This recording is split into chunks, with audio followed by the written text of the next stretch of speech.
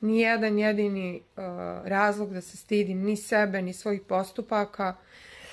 Uh, kako sam, šta sam, super. Kako sam se nadala, dobro sam se udala, tako da ovaj, sada očekujem uh, od vas ono razumijevanje da imam pravo na, na, na svoje izbore, svoj život i da, se fokusiram na ono što je mene čini srećnom.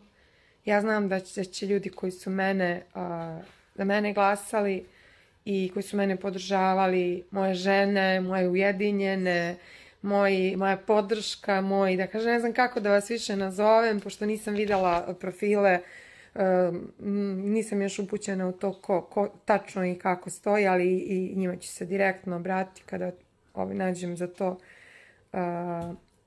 vremena.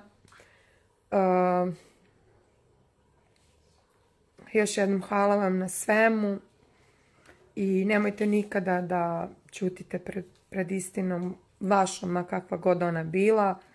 I nemojte da uopšte razmišljate šta, zašto će ta istina baš nekog tamo vašem, vama dragog da zaboli, jer ljudi na kraju rade sve ono što je u suštini uh, samo za njihovu zadnjicu dobro, a vi ostanete onako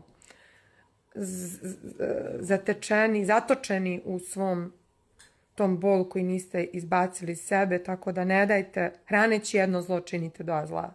To je moje mišljenje, ma ko god stajao iza tog zla, moja rođena majka, znači da je u pitanju uh, zlo je zlo i nemojte ga podržati nikada, ni u kom smislu. Uh, budite ljubav, širite ljubav, nemojte nikada da budete kao oni koji to nisu.